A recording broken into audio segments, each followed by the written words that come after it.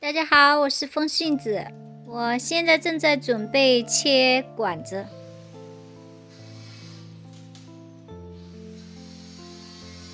这个管子是用来做呃鱼池上方那个过滤池的通水管用的。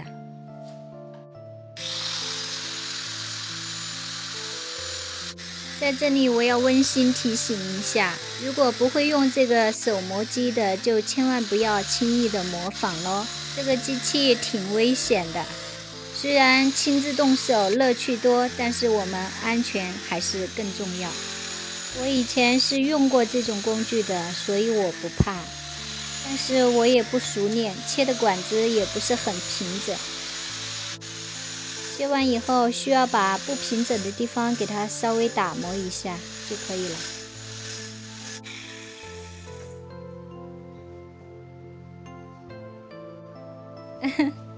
我是切高兴了吗？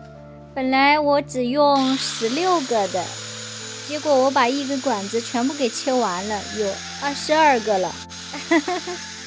我这是在浪费材料呀！不过也没关系，以后可以用它来做控根管。好了，切完了，看看我的头发，全部都是灰，我身上全是灰，还有我的鞋子，看看，全部都是灰，哈 哈好多灰是不是？这个 PVC 的管子啊，它切了之后会有很多的灰尘，特别是如果再打磨一下的话，它就灰尘很多。应该戴个口罩的，我忘记了。管子切完了，天也快黑了。看看，现在外面还在下雨，今天都下一天了。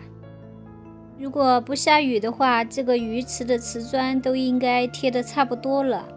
可是雨一直下，气氛不算融洽，气死我了。这边是我买的管子，本来是准备把它全部接上，放到上面的过滤池里面去的，但是一直下雨，没有办法接，只好拿了一根管子到楼下去切了。你们有没有觉得我这个砖的颜色特别难看呢？买砖的时候单看一块，我觉得颜色还挺清爽的，现在贴成一片了，我觉得好难看哦。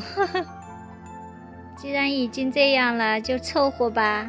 下雨什么也干不了，只好回家喽。我们下期见，拜拜！喜欢我就关注我，给我点赞哦。